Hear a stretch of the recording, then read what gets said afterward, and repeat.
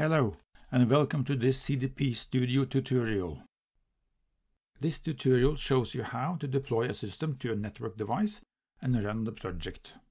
We will use the example My First Project and deploy this to a Raspberry Pi. The example is found under the Examples tab on the Welcome screen. Under the Deploy Configuration tab, you find all information related to deploying systems. We are going to deploy to a network device and we must first select our local area network. With the local area connection selected, we will locate our device from the list. This is our device and we want to give it a name. Let's call it Raspberry Pi with screen. In order for CDP Studio to deploy onto a device, the device needs to run a SSH server and have rsync installed. Enter the SSH username and password to pair CDP Studio with the device.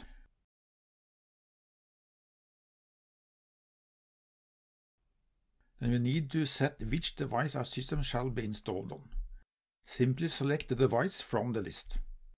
Notice that the device list has now been populated with the devices from my network.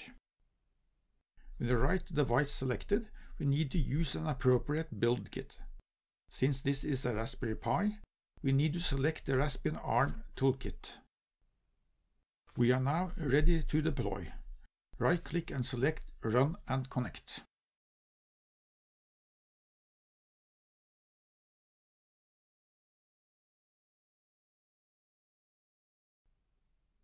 We have now deployed our application, and it is running on the Raspberry Pi. CDP Studio is connected to the system and you can see the values in real time. This was all for this tutorial. We will see you in the next video.